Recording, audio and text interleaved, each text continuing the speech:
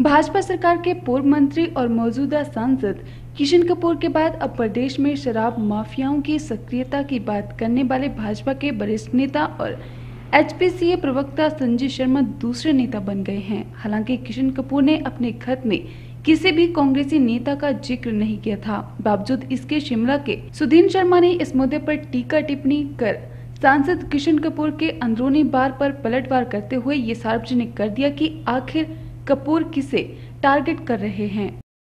देखिए खत तो मैंने लिखा है और उन्नीस शराब की पेटी बिना होलोग्राम के उन्ना टालीवाल में पकड़ी गई है।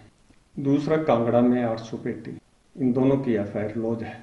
और मैंने ये कहा है कि इससे सरकार को ये जो शराब माफिया है वो धड़ल्ले से सरकार को चूना लगा रहा है। और ये बहुत बड़ा जाँच का विषय है। इसमें मतलब और भी जो फैक्ट्रीज हैं, उनकी जाँच होनी चाहिए, उनका ऑडिट होना चाहिए, ताकि सरकार को जो सरकार का रेवेन्यू लॉस हो रहा है, वो ना हो।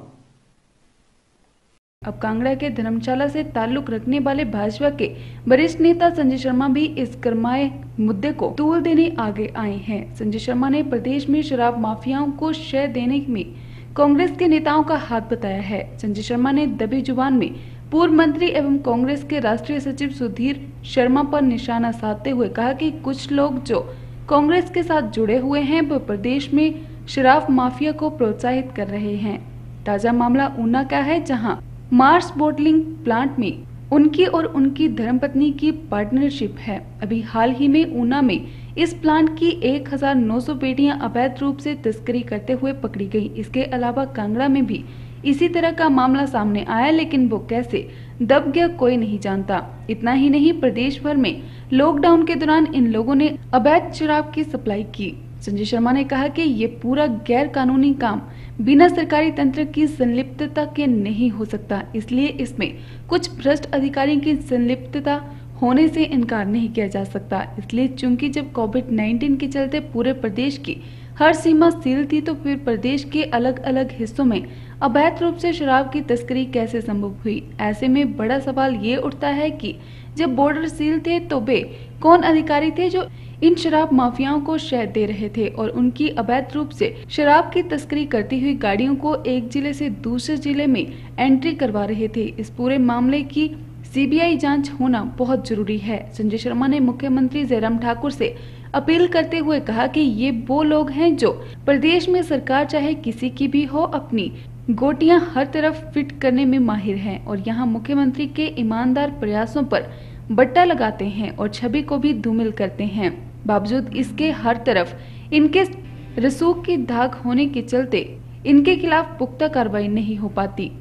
देखिए कोविड 19 की समस्या के लिए जिस तरह से प्रदेश के मुख्यमंत्री एक सराहनीय प्रयास उन्होंने किए दिन रात जो है वो प्रदेश के चाहे वो कोरोना पीड़ित हैं, चाहे मजदूर, दिहाड़ीदार, किसान, बागवान किन किन समस्याओं से जूझ रहे हैं, उनके लिए काम कर रहे हैं। देश के अंदर प्रधानमंत्री ने बहुत अच्छा काम जो है वो कर रहे हैं और सभी प्रदेशों के ऊपर नज़र रखी हुई है।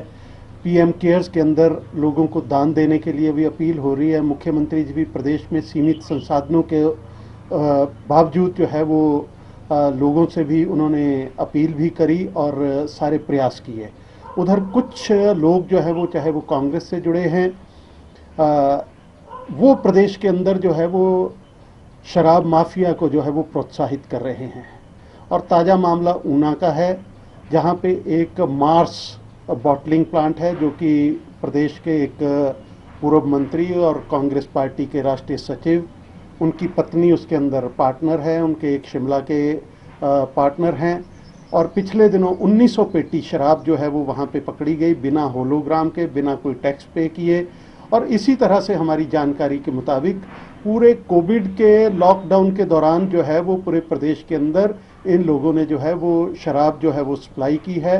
और इसमें सुनने में आया है कि कुछ अधिकारी भी जो है वो मिलकर के ऐसे कामों को और ऐसे लोगों को जो है वो प्रोत्साहित और सहायता कर रहे हैं। इसलिए हमारा सरकार से निवेदन है कि आपके प्रयासों को जो लोग बट्टा दिखाने की कोशिश कर रहे हैं, उनके ऊपर नकेल कसने का समय आ गया है। और इस मामले में, क्योंकि प्रदेश के कुछ अधिकारी और कुछ पुलिस अधिकारियों की संलिप्तता भी ऐसे मामले में हो सकती है, क्योंकि जिलों के अंदर जो है, वो सभी बॉर्डर सील थे। बावजूद इसके ऐसे लोग जो है, वो कैसे प्रदेश के अंदर शराब माफिया मिलकर के जो है, इसको पहुंचाता रहा है? इस सब की जाँच करवाने के लिए इस सारे मामले को सीबीआई को जो है, वो सौंपा जाए, क्योंकि इस विषय की गंभीरता, जब प्रदेश जो है, वो एक एक पाई के लिए जूझ रहा है और कुछ लोग जो है वो प्रदेश को जो है वो करोड़ों रुपए की जो है वो बट्टा लगा रहे हैं प्रदेश के टैक्स के ऊपर और ऐसी हरकतें कर रहे हैं।